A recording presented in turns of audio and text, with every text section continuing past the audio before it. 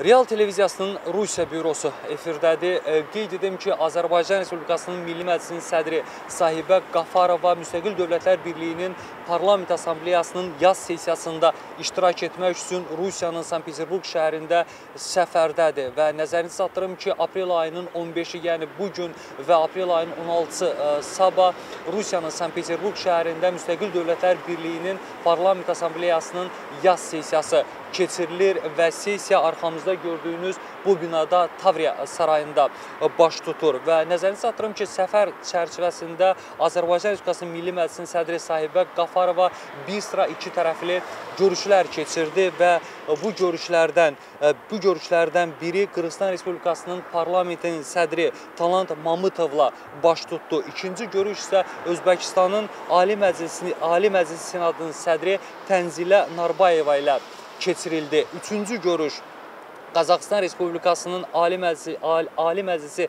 Senatının sədri Maulen Aşınbayevlə dördüncü görüş isə Moldova Respublikasının parlamentinin sədri Zinaida Gerçayn ilə baş tutdu və xatırlatmaq istərdim ki, görüş çərçivəsində Azərbaycan Respublikasının Milli Məclisinin sədri Sahibə Qafarova Qarabağ probleminin Azərbaycan Respublikası üçün artıq arxada qaldığını vurğuladı. Nəzərə çatdırıldı ki, Azərbaycan Respublikası BMT-nin qətnamələrini həyata keçirərək Azərbaycan torpaqlarını işğaldan azad edib və hazırda isə Qarabağda yeni mərhələ quruculuq mərhələsi quruculuq mərhələsi başlayıb və görüşlər zamanı iki tərəfli münasibətlər də gündəmə gətirildi və epidemioloji durumla əlaqədar bir sıra iqtisadi məsələlər də müzakirə olundu.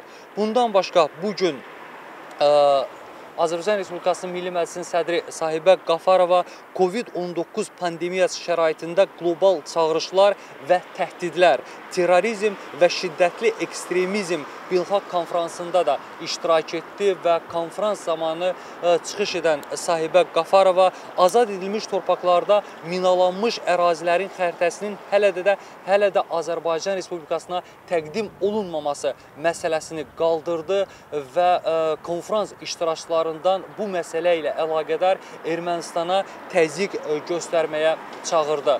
Bundan başqa konfrans çərçivəsində Azərbaycan Respublikasının COVID-19 ilə əlaqəli göstərdiyi mübarizə və çağırışlar da konfrans iştirakçılarının nəzərinə çatdırıldı.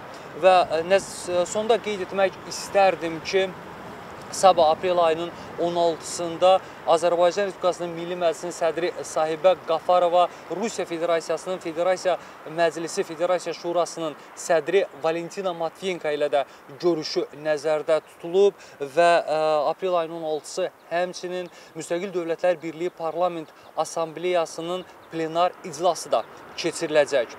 Bu saata olan məlumatlarımız bu qədər. Realda qalın, ən son məlumatları bizdən alın. İqbal Rüstəmov, Real televiziyasının Rusiya bürosu, Sankt-Peterburq.